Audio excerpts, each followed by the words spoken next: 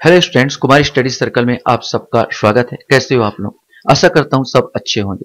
आज हम लोग छत्तीसगढ़ सहकारिता विभाग भर्ती परीक्षा 2023 को आगे बढ़ाते हुए आज का वीडियो का टॉपिक होगा कार्यशील पूंजी।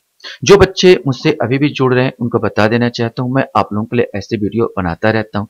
अगर आप मेरा पुराना वीडियो देखना चाहते हो तो मेरे प्ले में जाइए, जहाँ पर सहकारिता विभाग वाला प्ले दबाकर सारी चीज़ को, आप सारे वीडियो को देख सकते हैं। तो पहला क्वेश्चन हम यहाँ पर लेते हैं। निम्नलिखित में से एक कार्यशील पूंजी के रूप में माना जाता है। रुपए पैसे, मशीनें, भवन या उपकरण। सही आंसर ए आएगा, रुपए पैसे। कार्यशील पूंजी क्या होती है? कोई भी व्यवसाय को चलाने के लिए आप उसमें जो कम से कम पैसा आप रखते हो ताकि वो दिन दिनचर्या चलता रहे, उसी को हम लोग कार्यशील पूंजी कहते हैं। ऐसे समझ लीजिए कि मैं एक किराए का मकान लिया हूँ और कोई व्यवसाय चालू किया तो धड़ाक से आपका व्यवसाय नहीं चलेगा, ये फटाफट आपका व्यवसाय चलने लगा। हो सकता है कि पहले महीने आपका किराया ही ना उठे तो किराए का पैसा आपके पास होना चाहिए। हो सकता है कि आपके पास माल तो बिक गया, लेकिन कुछ माल की और ज़रूरत है तो उसको कुछ पैसे चाहिए ताकि मैं माल सजा के रखूँ। तो ऐसे ही जो पैसे की ज़रूरत होती है, उसे ही हम लोग कार्यशील पूंजी कहते हैं। किसी व्यवसाय को चलाने के लिए हाथ में आपके पास जो पैसा होता है। इसमें क्वेश्चन हमारे सामने आता है। प्रमुख चालू परिसंपत्तियाँ खालिस्तान है। नगद और विपणन योग प्रतिभूति, प्राप्त खाते, देनदार इन्वेंट्री इन्वेंट्री या स्टॉक उपरोक्त सभी। सही आंसर आपका उपरोक्त सभी आएगा, क्योंकि नगद तो आपके पास होनी ही चाहिए। देनदार से पैसा जो मिलता है, वो भी आपके पास होनी चाहिए और स्टॉक में आपके पास रहना ही चाहिए। क्वेश्चन हमारे सामने आता है। मूल वर्तमान देनदारियाँ खालिस्तान है। दे खाते और दे बिल बैंक ओवरड्राफ्ट बकाया व्यय या उपरोक्त सभी। सही आंसर डी आएगा उपरोक्त सभी, क्योंकि देनदारियाँ बोला तो दे खाते तो आएगा ही, बैंक ओवरड्राफ्ट आएगा ही और बकाया व्यय तो आएगा ही तो उपरोक्त सभी इसमें आएगा। क्वेश्चन हमारे सामने आता है, कार्यशील पूंजी के दो अवधारणे, सकल और खालिस्तान क्या होगा? शून्य, नेट, संचय या विशिष्ट। तो कार्यशील पूंजी के दो अवधारणे, शुद्ध, सकल और नेट होती है। सकल मैं आपको बता देने कोशिश करूँगा कि सकल जो होता है, ये वाला जो होगा, सकल क्या होगा? तो व्यापार की संपूर्ण चालू संपत्तियों के योग से है।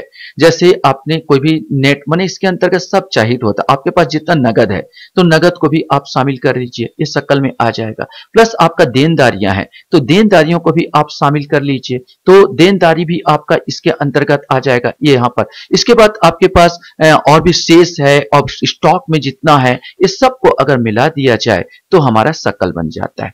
बल्कि नेट की अगर बात किया जाए तो चालू संपत्ति में से चालू दायित्व को माइनस करना पड़ता मैंने दायित्व क्या हो जाएगा? जितने पास आपके पास चालू संपत्ति है, उसमें से देनदारी को माइनस कर देने पर जो बचेगा वो नेट अर्थात शुद्ध बचेगा। क्वेश्चन हमारे सामने यहाँ पर आता है। कार्यशील पूंजी को खालिस्तान पूंजी के रूप में भी जाना जाता है। वर्तमान संपत्ति, संचालन, प्रक्षेपण या संचालन राजधानी, इसमें से आपको बताना पड़ेगा। सही आंसर भी आएगा संचालन, क्योंकि संचालित करने के लिए मैंने मैंने धंधे को, मेरे व्यवसाय को संचालित करने के लिए जो पूंजी चाहिए, वही हमारा चालू पूंजी है तो कार्यशील पूंजी है तो ये संचालन आ जाएगा आंसर इसमें। नेक्स्ट क्वेश्चन हमारे सामने यहाँ पर आता है। खालिस्तान कार्यशील पूंजी का तात्पर्य मौजूदा परिसंपत्तियों में फर्म में निवेश से है। खालिस्तान कार्यशील पूंजी का तात्पर्य मौजूदा परिसंपत्तियों में फर्म में निवेश से है। शून्य, नेट, सकल या विशिष्ट। आपने समझ गया होगा कि यहाँ पर आंसर सी आएगा सकल, क्योंकि इसमें जितनी भी आपकी चलाने के लिए ज़रूरत है, चाहे वो देनदारियाँ हो, चाहे आपको नगद हो तो हम उसको सकल कहते हैं। ऐसे क्वेश्चंस आपके सामने यहाँ पर आएगा कि वित्त में कार्यशील पूंजी का अर्थ खालिस्तान संपत्ति के समान है। लहर, निश्चित कुल, उपरोक्त सभी। तो निश्चित तो होगा नहीं। आपका चलायमान चाहिए, मैंने लहर जैसा चाहिए। तो आंसर ए आएगा, लहर पूंजी, मैंने चालू टाइप का चलायमान आपको कम से कम आपके पास पूंजी होनी चाहिए।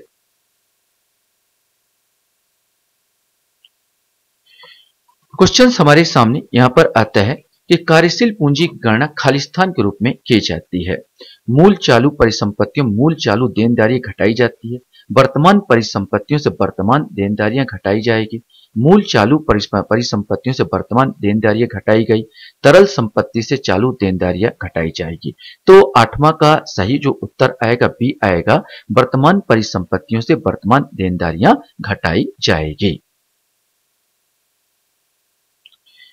क्वेश्चन हमारे सामने यहाँ पर आता है कि खालिस्तान कार्यशील पूंजी वर्तमान परिसंपत्तियों और वर्तमान देनदारियों के बीच के अंतर को संदर्भित करती है। वैसे मैंने समझा दिया था, शून्य, नेट, सकल या विशेष। देखो, खालिस्तान कार्यशील पूंजी वर्तमान परिसंपत्तियों से वर्तमान देनदारियों के अंतर, मैंने माइनस करूँगा तो आपका नेट आ जाएगा। तो नौमा का आंसर बी आ जाएगा, नेट अर्थात शुद्ध बन जाएगा।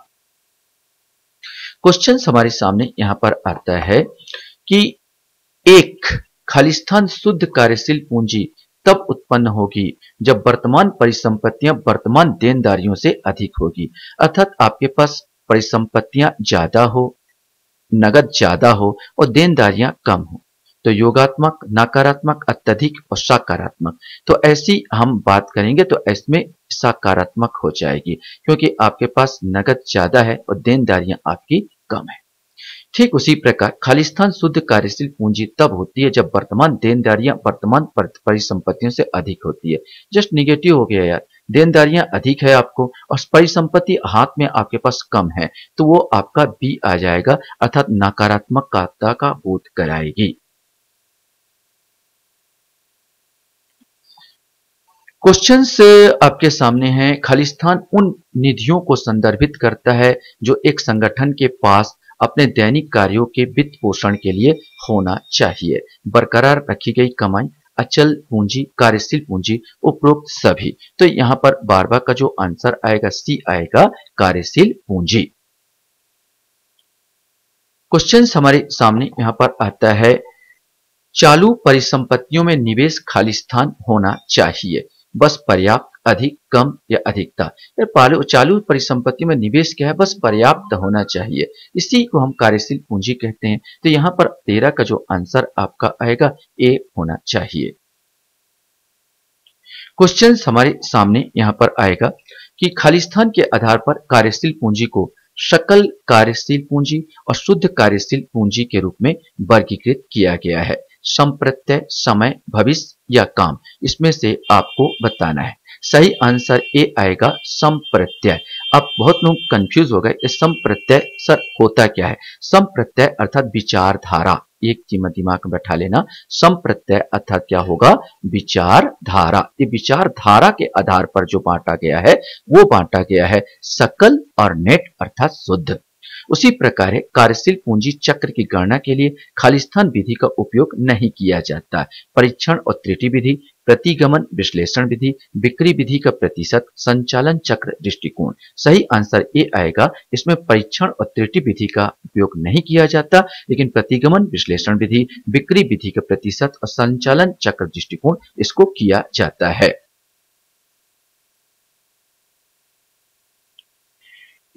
क्वेश्चंस आपके सामने यहाँ पर है। खालिस्तान के आधार पर कार्यशील पूंजी को इस प्रकार वर्गीकृत किया जा सकता है।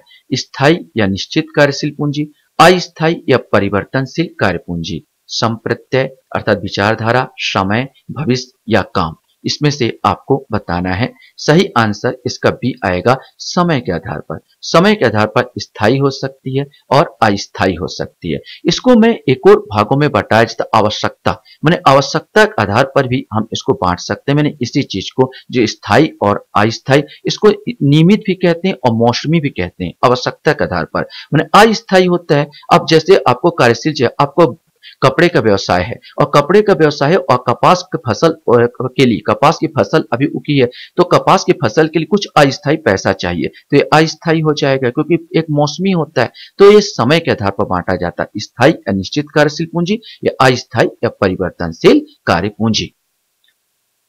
क्वेश्चन हमारे सामने यहाँ पर आता है कि संचालन चक्र को खालिस्तान भी कहा जाता है। कार्यचक्र, व्यापार चक्र, वर्तमान परिसंपत्ति चक्र या कार्यशील पूंजी चक्र। इसमें से आपको बताना है, सही आंसर डी आएगा, कार्यशील पूंजी चक्र। लास्ट क्वेश्चन हमारे सामने यहाँ पर आता है। कार्यशील पूंजी की गणना के लिए इनमें से कौन सा सूत्र सही है?